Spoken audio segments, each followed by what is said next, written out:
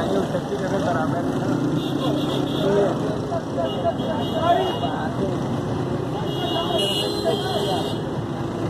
हाँ सॉरी